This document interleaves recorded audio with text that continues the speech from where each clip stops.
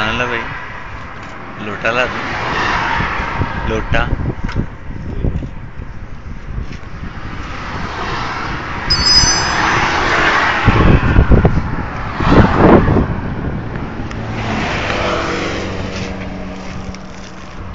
God, not just one last one.